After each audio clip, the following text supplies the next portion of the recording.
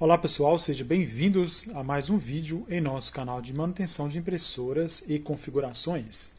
Meu nome é Messias. No vídeo de hoje eu vou mostrar para vocês como fazer a instalação na porta USB a impressora Epson EcoTank modelo L495. Caso esse vídeo seja útil para vocês, deixa o seu like, inscreva-se no canal, compartilhe o vídeo e ative o sininho para vocês receberem os vídeos novos. Aqui na linha de pesquisa do Google Chrome, você digite aqui Drivers Epson L495. O Enter. Aqui na primeira linha de pesquisa, clique nela. Já vai entrar no site da Epson, já com a foto da impressora, modelo Epson L495. Aqui você encontra os drivers necessários para fazer a instalação. Role para baixo, vai pedir aqui, ó, escolha o sistema operacional, geralmente identifica automático. Mas se caso não identificar, você clica aqui e escolhe o seu sistema operacional. No meu caso aqui o Windows 10 64 bits. Clique em acessar. Aguarde um minutinho para abrir os drives. Agora mostra aqui os drives necessários para fazer a instalação. Instalador de drives e utilitários. Clique aqui em Download. No canto superior direito vai descarregar o instalador.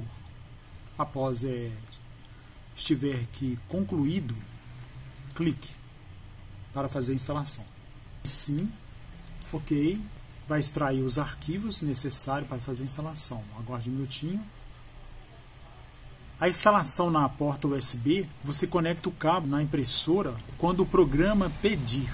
Bem? Neste momento você deixa a impressora somente ligada no cabo de energia, uma ponta ligado lá no seu PC, né, que é, o, que é o seu computador ou notebook.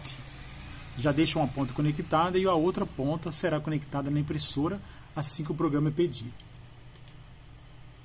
Aceitar o contrato, instalar e agora aguarde um minutinho que ele vai instalar esse passo a passo aqui. Ó.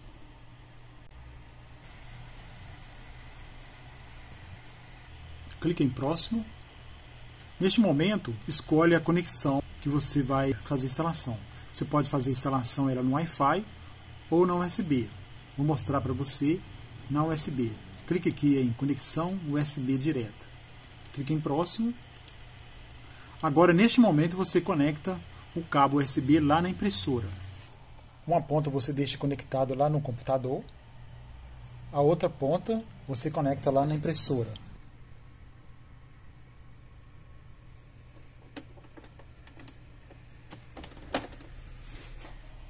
Quando você conecta, já aparece o V ali de foi conectado, tudo bem? Agora é só imprimir uma página de teste para testar a impressora. Clique aqui em imprimir página de teste.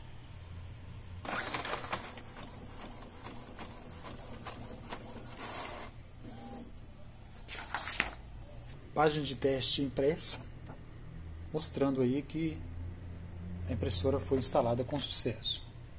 Tudo bem? Agora é só sair do processo de instalação, que já está praticamente terminado. Clique aqui em próximo. Vai pedir para registrar o produto. Você escolhe se realmente vai registrar. No meu caso aqui eu não vou registrar, só estou mostrando a instalação. Sair do processo de registro, clicar em sair, fechar aqui. Após fazer a instalação da impressora na porta USB, é, se você quiser fazer um teste de verificação de jato de tintas ou limpar a cabeça, pelo fato que você acabou de fazer a instalação do instalador completo, do driver completo da impressora Epson L495, você vem aqui em iniciar, escreve aqui painel de controle, começou a escrever painel, já aparece aqui em cima aqui, ó, painel de controle, clique aqui, na aba hardware e sons, exibir impressoras e dispositivo. Agora, aqui no íconezinho da impressora L495, onde foi criado, clique com o botão direito do mouse, vai em preferência de impressão. Essa janela aqui tem três opções, principal, mais opções e manutenção. Na aba manutenção, você tem acesso a alguns itens aqui, né, alguns submenus, para fazer uma manutenção na impressora, verificação de jatos, limpeza da, do cabeçote, alinhamento, então, o que você é, vai mais usar aqui é verificação de jatos e limpeza do cabeçote. A verificação de jatos é quando a impressora está um pouco entupida, aparece os injetores preto e os injetores colorido. Aí vai mostrar se alguma linha está entupida, essas coisas aí, se tiver entupida, você vem aqui limpeza do cabeçote, tá bom? Eu vou deixar aqui um, um link é, mostrando aqui na descrição desse vídeo com mais detalhe a respeito de verificação de jatos e limpeza do cabeçote, tá bom? Só mostrando para vocês que é, você tem acesso a essa parte aqui ó, do menu somente quando você instala os drivers completo da impressora. Se você somente esperta a impressora, né, coloca lá o cabo USB na, na impressora e, e liga ela no computador, o computador vai reconhecer a impressora e vai instalar o driver básico. Tá bom? Na impressora você vai fazer somente impressão.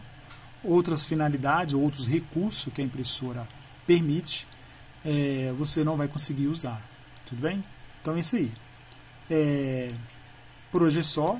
Caso você gostou do vídeo, deixe o seu like, inscreva-se no canal, compartilhe esse vídeo e veja na descrição desse vídeo outros links que talvez poderá te ajudar. Um grande abraço e até o próximo vídeo.